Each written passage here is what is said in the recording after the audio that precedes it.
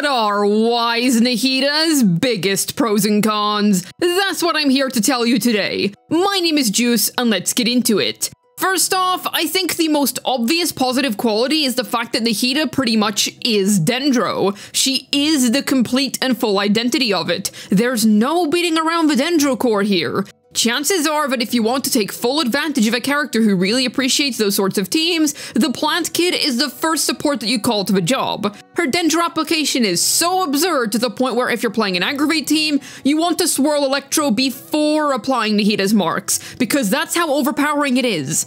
And if you've ever seen a Nilou Bloom team with and without Nahida's help, yeah, it's funny seeing the comp go turn a small grenade into a nuclear beast. Legit, almost all of the Sumeru cast will actively want to utilize Nahida. They saved her in the Archon quest because they knew they'd be missing out on so much team DPS if they didn't. You want to play Alhaitham at his full potential? Then you've got to stick Nahida with him to achieve that. You want to make Nilou Bountiful Core's Bloom feel 20 times better to play? Well, might I just inform you of the one who sees everything? Her usefulness for all Sumeru units genuinely cannot be understated. I will be 100% real with you. If you main either the process of elimination guy, Nilou, Tighnari, or Cyno, then Nahida is a borderline essential for you. Hold your horses on the cop though, there's another good team for him that's not Nahida. I'll get back to that later. She has a few modern uses outside of Sumeru which really like her Dendro application as well. Clorinde Aggravate is pretty delicious. There is the issue of Nahida's Dendro being a little overpowering, but if you can swirl Electro before using her skill, then you'll be fine. Mualani Burn Vape teams can also cook with the Plant Kid. She buffs EM for whoever is on field whenever you've got her burst up, which is incredibly valuable for the Shark Surfer. She's really good at keeping burning sustained on the enemies, so you'll be vaping for days. Point is, if you need Dendro, Nahida's the one to call. I think one of the biggest positive factors regarding Nahida is that it's absurd how budget friendly she is. People recommend her as a first 5 star to free to plays for a very valid reason, because the cost to make her work is extremely low, and she can form some really cheap teams which are also very resin friendly by not demanding heavy crit stats. Let's take this one at a time. She generally builds EM. Yes, you can build her for personal damage too, but for the sake of the argument, let's talk EM. No crit required. Very easy for a new player to put together. You can easily throw her into a squad primarily composed of 4 star characters,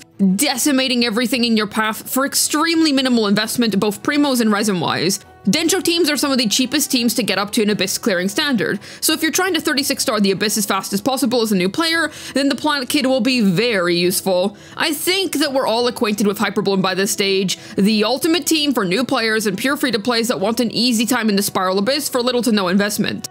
It's absurd how Nahida completely broke the ceiling when it comes to low investment clears. She can easily drive ahead of a team thanks to being a Dendro Catalyst. Even the main best in slot teams that she plays in are super accessible cost-wise by nature. Nilou teams? Yeah, talents are optional. Stack up on HP percent and EM for all your teammates, then you're good to go. Alhaitham, clearing the Abyss excellently on a 3-star weapon anyone? If you want a character who can seriously unlock the potential of low investment teams, then Nahida is the right pick for you. Her utility is also really handy, because there's more to this kid than her ability to propagate Dendro on enemies swarm disaster style. Her EM share is part of what makes her such a worthwhile buffer for everything Dendro. It's what helps her stay relevant in some modern teams, such as Mualani Burn Vape as a very competent Emilie replacement, while being the key to max potential for most Sumeru units. The way that the passive works also rewards building really high EM on other units too. Let's take the Alhaitham team for example. Kuki Shinobu wants to build a ridiculous amount of EM, as she is the main electro trigger of the Dendro cores in this team. If you manage to build 1000 plus EM on her, then Alhaitham, the key on-fielder of a team, will receive a massive EM boost. So the Dendro Archon rewards an economy of building huge amounts of EM in your team, therefore fitting super naturally into EM-based comps. Her burst features cool utility depending on the elements that you've got in your team too. Pyro equals Nahida's skill ticks doing more damage, Electro decreases the intervals of her skill ticks, and Hydro extends the duration of her burst which is nice for Nilou teams. It's a small bonus, albeit a bonus nonetheless. If you have at least two teammates that are Pyro, Electro, or Hydro, then these effects get increased further.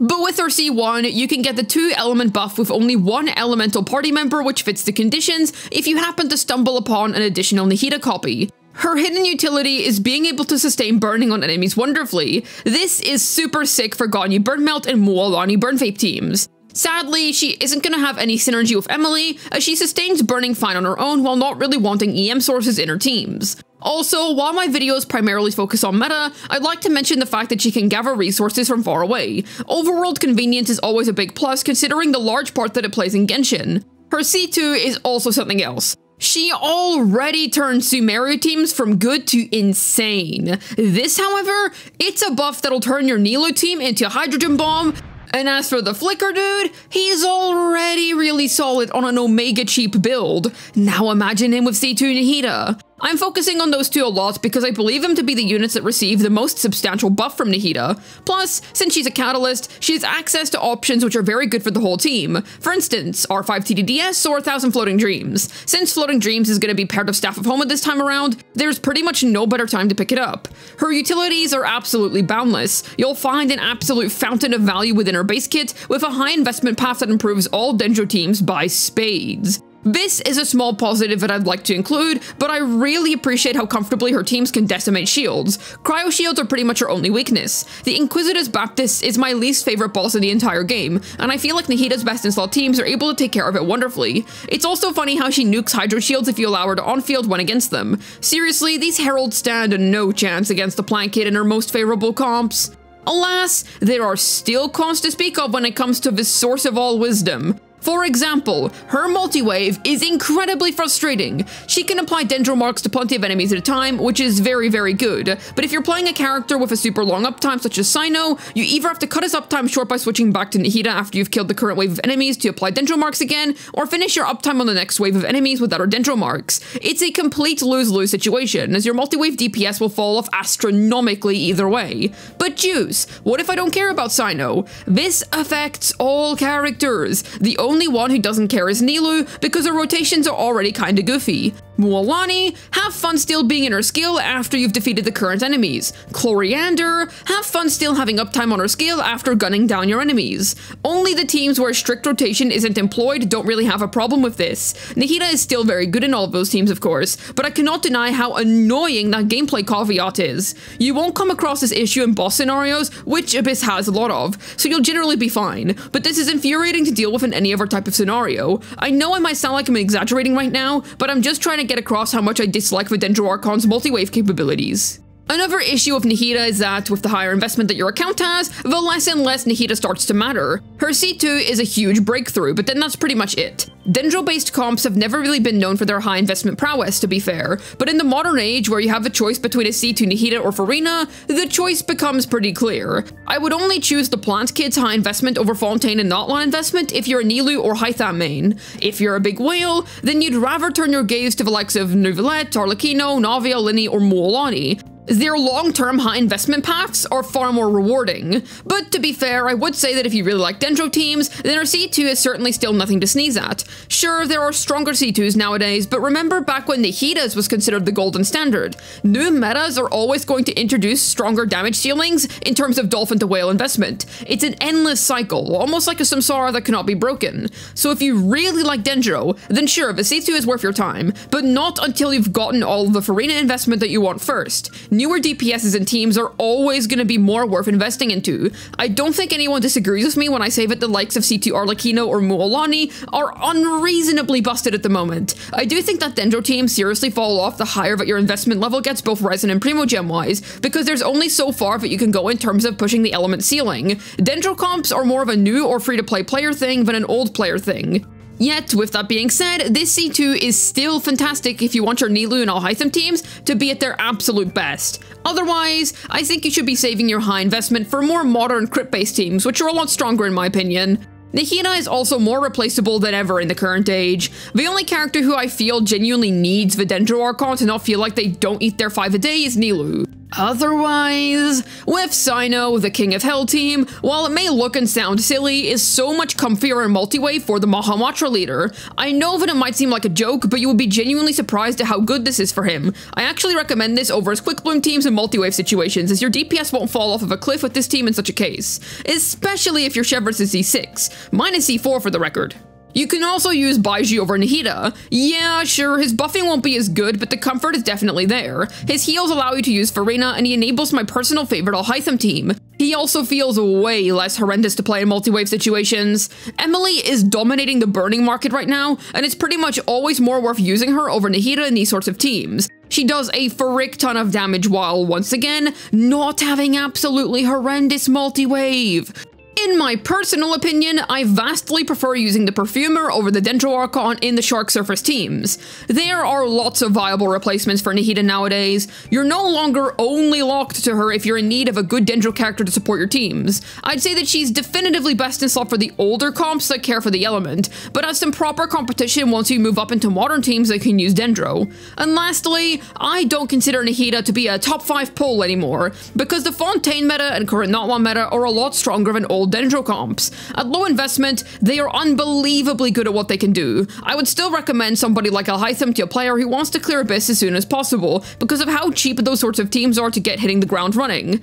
But you've got other low-cost options nowadays, which perform a lot better. You can't tell me that Neuvillette is an expensive unit when bro decimates the Abyss with a P-Amber and 4-piece Ender City Kachina on his side or even an Arlecchino with an R5 white tassel and a full 4-star team that either looks like this or this. I don't think Dendro teams are bad by any means, but the longer that you play the game, the less useful that they become compared to current day teams. Ease of use, Neuvillette, Arlecchino. Free to play friendly, Navia's 4 star team. Natlan, use Emilie. I consider the golden age of Dendro to have passed long ago. Yes, it absolutely remains as the perfect choice for low investment players that want to start dealing abyss ready numbers quickly. Its old pros regarding free to play friendliness are 100% still true, but it also 100% has competition these days, which surpass it, while even challenging its role as the best free-to-play option.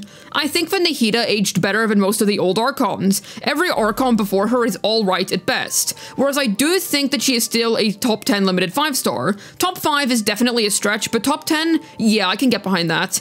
Her positive qualities have not really changed over time. All that's really happened, which is not so much in her favor, is the release of better teams. I'd say she's in a very good spot right now. Worth your time if you're interested in the teams that she buffs massively. Otherwise, you can skip the kid quite comfortably. The buffs she gives said teams are not to be underestimated, but if you aren't a Nilou or Alhaitham player, then the need for her is definitely not as high. If you main either of those two, then she will be as good as Kazuha or Xilonen is on your account. The extent of her value value truly is a case by case basis. Either way, you will more than likely be able to find some place for her on your account, but I do believe her to be somewhat of a pull her if you're a low investment player choice more than anything else. Hopefully this video was able to tell you Nahida's biggest pros and cons. This has been Juice, signing out, and remember to eat your five a day.